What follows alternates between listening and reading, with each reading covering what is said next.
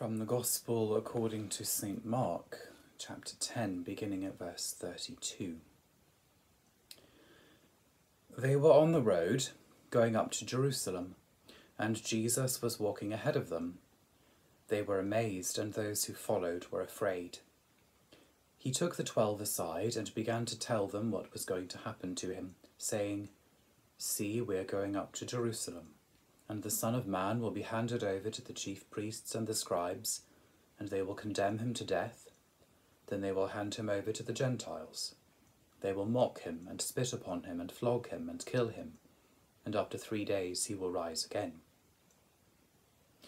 James and John, the sons of Zebedee, came forward to him and said to him, Teacher, we want you to do for us whatever we ask of you. And he said to them, what is it that you want me to do for you? And they said to him, Grant us to sit, one at your right hand and one at your left, in your glory. But Jesus said to them, You do not know what you are asking. Are you able to drink the cup that I drink, or to be baptized with the baptism that I am baptized with? They replied, We are able. Then Jesus said to them, The cup that I drink you will drink and with the baptism with which I am baptized, you will be baptized. But to sit at my right hand or at my left is not mine to grant, but it is for those to whom it has been prepared. When the ten heard this, they began to be angry with James and John.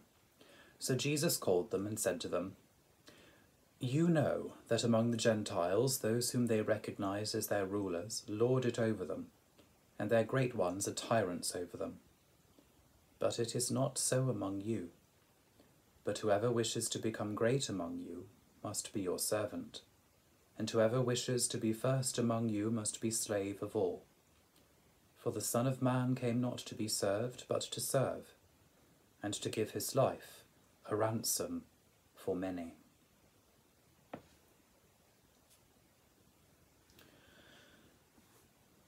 Many of you will know the high esteem with which I regard Her Majesty Queen Elizabeth. Her coronation portrait is actually just over here by my desk in my study. She watches me even now. Why do I esteem and regard her so highly? Is it because of the crown that she wears? Is it because of her ancestry? Is it because of her power? Is it because of what she represents? None of those things, really. They're all important in their own right, but for me, Her Majesty is an ideal example of what it means to be the servant of all. At her coronation, so many years ago, she took an oath before God to serve this people, to care, to look after, to guard and protect. And she has never stepped back from that oath as hard as it has been and as much as it has demanded of her. In this passage, James and John want to be seated at Jesus' side in his glory.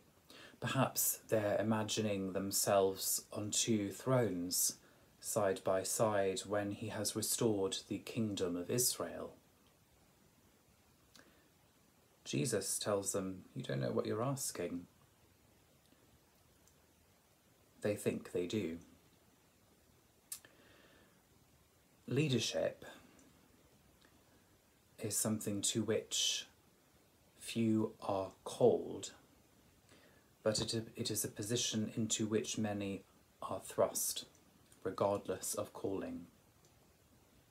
We are put in positions of leading families, we are put in positions of leading churches. We're put in positions of leading teams at work. Those who lead best are those who lead by example. They do not have to exercise their authority. They do not have to, as Jesus puts it, be tyrants over those in their care. They are among their teams, among their families, among their business co workers, as those who serve. And it is those who serve best, most willingly, most graciously, who are looked up to by everyone else. Her Majesty is not looked up to because of her crown. Rather, the crown is looked up to and honoured because of Her Majesty. It derives its respected place because of the one who wears it. Why am I saying all this? It's not a, a political talk today, it's a talk about a scripture passage. Well, I'm saying it to remind us of what we should know about Jesus. He was Son of God, yet he did not cling to his equality with God, he did not hold on to his divine prerogatives, as the Epistle to the Philippians tells us, but he became a servant. And as a servant, as the slave of all humanity, he has received glory and honour and praise and worship far above and beyond what he could have received as a grand ruler wielding a sceptre by force. Our faith, the person at the centre of our faith, is profoundly subversive the world's expectations of leadership, of rulership, of empire are grandiose exercises of naked power. People may be obedient to such rulers, but they do not love them. They do not honour them, respect them, see them as truly great.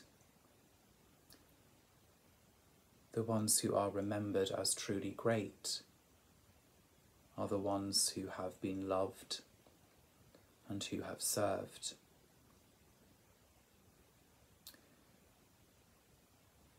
We may never be ourselves crowned rulers of Europe, as much fun as that might be in some ways we will be leaders in one position or another in our lives, even if it is simply amongst our family and friends. How will we lead when we are called to do so? Will we exercise force? Will we make demands? Or will we be servants? Will we lead because we are loved, not because we must be obeyed? That is the question this passage puts before us, and its answer is in the example of Jesus Christ. He came not to be served, though he could have demanded it.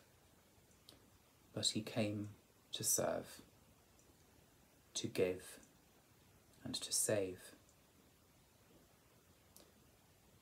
That is his calling, and as Christians, little Christs, it is ours also.